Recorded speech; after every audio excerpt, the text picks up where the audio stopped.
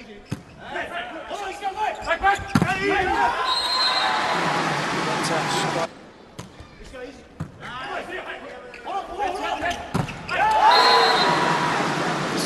uh, front foot swing hit it, Ishikawa out, as they did, but then they couldn't stop Shimizu at floor.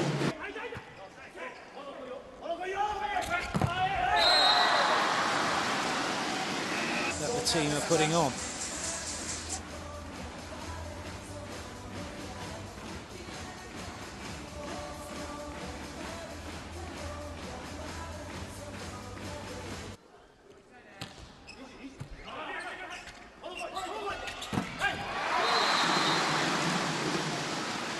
Good at that. Plus, they've worked hard.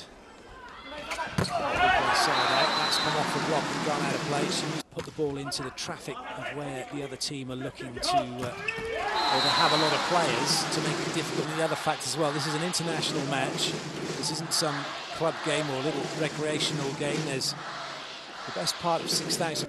I guess that's what separates the good from the great. So Perry couldn't go after that one. He was the guy at the back row on the baseline, almost off the court for exactly that reason, so they can chase those type of shots and up or down, only in or out, and the ball still isn't down. Now it is though, and it's off the block, setting up for a spike to one of going to chase the ball down. But as to whether it's short or long, it's entirely up to the player touching me from Australia. That could have only come back cross court. They're a little late to react, and now Japan have a chance and take it. Well, that was a waste. When Shimizu dug that ball over, there was only one place it could go, and that was cross court, but nobody moved around for Australia. To go back and still not know what's going on.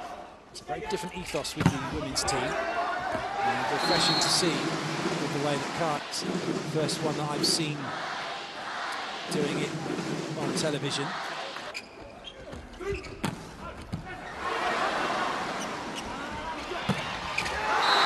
Brilliant play.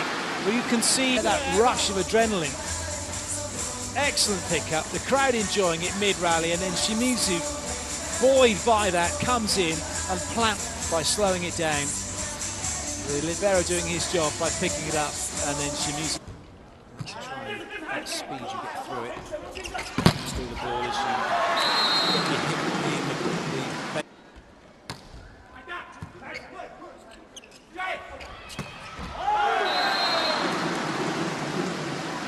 play. Well, that's just too difficult. Little pokey. Now, what have Japan got? Shimizu, block out. Staples. Another chance maybe for Edgar. Oh, brilliant digging.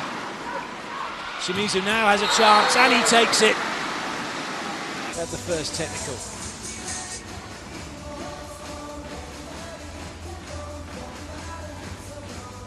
What do you make of it?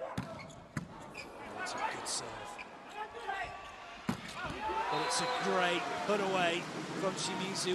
Who have made what they will consider to be a very important side out in the context of this match potentially now.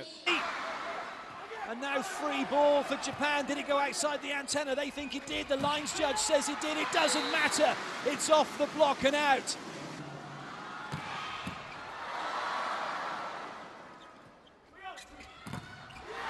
It's all over. Japan have done it. They have won the match by three sets to one.